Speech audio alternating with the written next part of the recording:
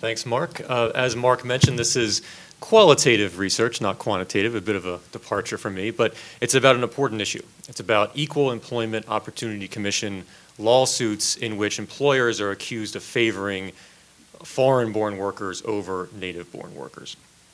But before I get into the specifics of that, I want to just sort of motivate the discussion by talking about where this fits into the broader economics literature. So economic theory would generally state that there are mixed effects from immigration on the labor market. There are some positives and there are also some negatives. Uh, the positive, from the native's perspective. Uh, the positives, of course, would be that if you're able to lower the wage, then you can reduce the cost of production and therefore reduce the cost of goods and services. Another potential positive is that it could free up natives to work in higher skilled jobs. But of course, the negative is that among those native workers who remain in the industry, they now face greater competition from foreign labor, and they're going to have downward pressure on their wages and their working conditions and potentially their job security. So empirically, economists have generally confirmed the theory. Most of the papers you read that do empirical analysis will find that those sorts of mixed effects. And in terms of uh, identifying the negatives, probably the best source is still the National Academies of Sciences. They're, they have a whole book on the topic of the economics of immigration. In, in, in, one of those chapters, they have a table, it's a really big table, where each row is an empirical analysis. There's a column with the wage effects. And if you look down that column, you see minus, minus, minus, minus, minus, minus. And of course, the minus means the wage is going down. But the problem with the empirical studies is that there are probably 100 or more different factors that could potentially influence how um, someone's paid or what their working conditions are like. How do you isolate the impact of immigration from all of those other factors? And these studies do that to varying degrees of success. Part of the problem, though, is that there's a wide range, therefore, of, of defensible methods and therefore also a wide range of results. So although we, um, the general feeling is that you get these mixed effects, once in a while you will encounter an empirical paper that claims that in fact the, uh, the theory is somehow wrong, that in fact there are zero negative effects of, of immigration on native workers. Well, how plausible is that? That's really the purpose of this report today.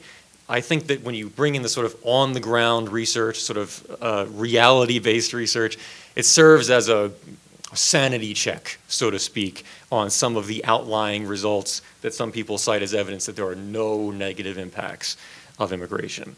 So uh, you be the judge of the plausibility of that. I'm going to read you a few uh, example cases from the paper. Uh, I, I, do want to mention before I start that that um, one thing I, I strive to do in the report in my summaries of these cases is to not go beyond the facts as alleged in the lawsuit. I did not add any embellishments, no commentary, and the like. So in order to maintain that standard, I am going to read directly, if you don't mind. If I try to do it from memory, I probably would screw it up. So here's your first example. According to a 2011 EEOC lawsuit, Southern Valley Fruit and Vegetable primarily employs Mexicans for the harvest season, but would initially hire Americans as well. Shortly after each harvest began, most of the Americans would be summarily discharged. Quote, all you Americans are fired, end quote, one manager told a group of 80 Americans who were let go at the same time. On another day that at least 16 Americans were fired, a manager stated, quote, all you black American people, F you all, just go to the office and pick up your check, end quote. Now, the it's the uh, Atlanta office from the EEOC that was in charge of this particular lawsuit, and it added the comment that, quote, the practices alleged in the lawsuit are relatively common in the industry, end quote. And Georgia Legal Services was also involved here, and they added, quote, discrimination against American workers in the H-2A guest worker program is endemic. We hope this case will bring attention to that problem, end quote. Now, lest you not believe that it really is endemic, I'll give you another example from ag the agricultural sector, a 2014 EEOC lawsuit. J&R Baker Farms segregated work crews by national origin, did not allow the American workers to start on time, sent Americans home or told them not to report for work on days when foreign-born employees worked as normal. and terminated Americans based on production standards that were not disclosed and not enforced against foreign workers. When the agricultural season began in the fall, nearly all American workers were fired within a few days. Now, these cases are explicit about the fact that foreign born workers are being favored over native born workers, but oftentimes it's more implicit. Oftentimes, the cases are about how Hispanics are favored over blacks. And you have to kind of read between the lines to realize that given the industry we're in, given the region that we're in, the Hispanic workers are highly likely to be foreign born, and of course, the black workers are highly likely to be native born. Let me give you an, like an example. When a Best Western hotel in Virginia came under new management, the managers began systematically replacing the hotel's black housekeepers with Hispanics. The replacement began when existing employees were told they would need to reapply for their positions after the management change. Subsequently, blacks with years of experience were denied reemployment. Hispanic workers were hired in their place. One manager expressed her preference for hiring Hispanics as housekeepers. You'll notice I used the word systematic in, this, in that last case because that's a very key word. This is not an accidental bias. Uh, another example of something very systematic. When a warehouse in Memphis began using a new employment agency to fill its daily work crew, the agency, quote, from the EEOC, essentially replaced the African Americans with Hispanics, end quote. Potential workers would line up outside the warehouse each day, but the agency would select Hispanics over blacks, even when black workers were farther ahead in line. Sometimes managers would send potential black workers home by announcing in English that there were no more positions. After the African Americans left, the Hispanics were allowed to come into the warehouse and work. Again, systematic, neither subconscious nor subtle. Perhaps the most egregious example of this comes from Prestige Transportation Services. It would discard or refuse to accept employment applications from non Hispanic blacks. Quote from the EEOC On multiple occasions, when a black person applied for employment, Prestige managers Ms. Ramirez and Ms. Rodriguez would stand behind the applicant and rub their hands on their skin to display their disdain for black people. End quote. Staff meetings were conducted in Spanish only, and one black driver who did manage to get hired would be sent home early while Hispanics continued to work. Now, I'm not going to read every case to you. There are 21 cases in the report. It would get a little boring, although I do recommend reading it because I think the, the repetition actually is instructive. You see the same things happening over and over again, which is telling. I do want to give you one more example. Uh, most of the time, the low skill American workers who are discriminated against are black workers, but sometimes they're white as well. I want to give you an example of that. At a Hampton Inn in Colorado, three non Hispanic white housekeepers were fired by the new general manager and replaced by Hispanics.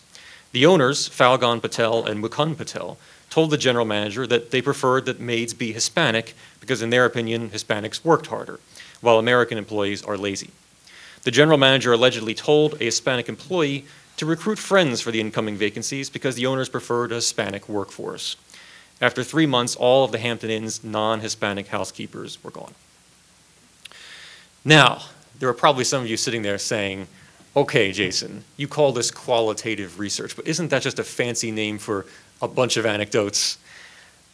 Well, I mean, in some, I mean, I agree. They are there are a lot of anecdotes here, but I would say that the frequency and the consistency of these anecdotes is rather telling. I mean, to the point where you really have to be out of touch with reality to argue that there are no negative effects of immigration on Native workers. In fact, let me just repeat that because I think it's a pretty important point. If you argue there are zero negative effects on Native workers from immigration, then you are out of touch with reality. Furthermore, the types of anecdotes that we do not find are just as important as the type that we do find. I mentioned that there are many cases of Hispanics being preferred to black workers, but it was very, very difficult to find the reverse. Very difficult to find cases of blacks being preferred to Hispanics. Which is not to say Hispanics don't file EEOC lawsuits. They do, but their types of complaints they have are, again, very telling. When Hispanics file suits, they are not complaining that they are being replaced by some other group in the workforce. Instead, they're complaining about working conditions. They complain about low pay, they complain about dangerous situations on the job site, and they complain about harassment. Harassment oftentimes is ethnically based, ethnic slurs and so on directed at them. The saddest part is that when we're talking about Hispanic women, sexual harassment is a very pervasive problem if you believe these EEOC lawsuits, particularly out in the farm fields where there's very little to protect them. Uh, and we're not talking about just some stray comment. We're talking about some really objectionable stuff, unwanted touching, and worse that's going on uh, out in the fields. I could do a whole additional report on that based on all the material the EEOC provides on that specific topic. The point is here, though, that the anecdotes conform to, the, to economic theory. This is exactly what we would expect to happen if we believe that employers are using immigration to depress wages and working conditions. Again, this severely calls into question anyone claiming that there are zero negative effects from immigration. So uh, I'll leave it there, but I'm happy to continue the conversation in the Q&A later.